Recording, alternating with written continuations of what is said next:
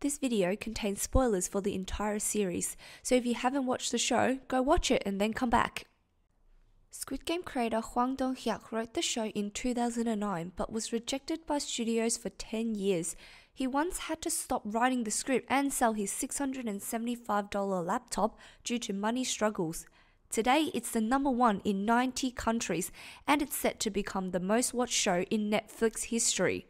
Most of us have already binged through all nine episodes of Squid Game. There's even a real life version in development after the series took the world by storm. Now that fans are rewatching the successful Netflix hit, they've realized that the twist ending involving the character of Oh Il Nam isn't as shocking as it first seemed, and that there are several hints as to what season 2 might focus on. Number 1 one of the theories that keep the fans hopeful for a season 2 is actually about the protagonist Seong Gi-hun and his relationship with the elderly man Oh Il-nam. Both Gi-hun and Il-nam are players of the survival game and are given opposite numbers. Il-nam was dedicated number 001 while Ji-hyun was given 456, which was the very last number. This observation doesn't mean much until you consider the Squid Game theory that Gi-hun might actually be Ilnam's son. In episode 2, by fate, Ilnam and Jiyoung accidentally bump into each other. Ilnam said he was in the area visiting a friend, but which friend? Was it Gi-hun and his mother who lived just down the road? In that same episode, which we later discover is October the 24th, Ilnam said his son's birthday was coming soon, and Gi-hun's birthday, which we find out later on in the series through the files, is actually on the 31st of October.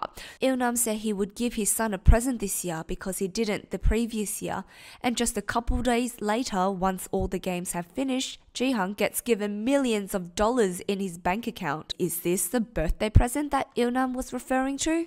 In episode 6, where the pair plays marbles in the makeshift town, Ilnam says the area looks similar to the neighborhood where he used to live, and later on he finds the house that he lived in with his wife and son. Gi-hun likewise described the alley next to Ilnam's area to resemble the place where he grew up, further indicating a connection between the two. Number 2 Let's take a look on the episode where Ilnam dies in the film. One theory that it had to be the marbles game where he exited the game was because the VIPs are coming to watch from the bridge game onwards and he was meant to host them.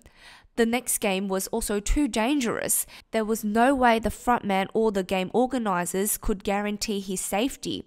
And there was also no way he could have faked his own death falling from the glass panels. And to make things worse, his tumor, which we later on discover was actually real, could have easily caused him to forget which glass is safe, even if he did pick number 16 and cross the bridge as the last player. Number 3. In last episode, Ilnam says he makes money by lending money. The players could have been his customers as Ilnam has multiple loan businesses. He knows a lot about these people and how they cannot pay back their loan potentially, and how much money they owe and where to find them, making them the perfect targets for the game. Number 4. The game is based on the VIPs on betting who will win the game and therefore the prize money. Ilnam gives Gi-hun his jacket with 001 embroidered on it. This could have been his way of placing his bet on Gi-hun to win. Number 5. There are a lot of discussions around Gi-hun's choice of hair color in the end. One way to look at it is that the red represents blood because he is tainted by all the contestants' blood, taking on the burden of their deaths on his shoulder, quite literally. And of course, I saved the best to last. Seong Gi-hun. Could he be the next frontman? Squid Game's final episodes serve to close the overarching story in the new Death Game series. Fans learn frontman's identity through the police officer Jun Ho's sleuthing the players' files. In Ho, aka Frontman, is 2015's winner.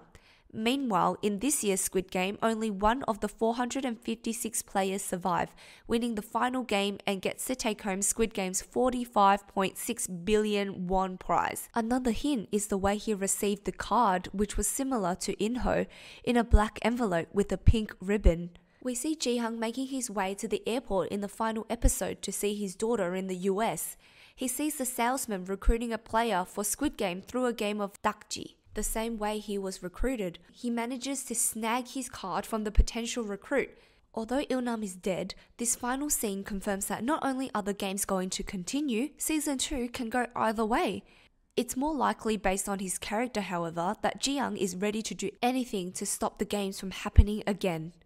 What are your thoughts on Squid Game? Do you have any theories on season 2? Let me know what you think in the comments below. Don't forget to thumbs up and subscribe. See you next time.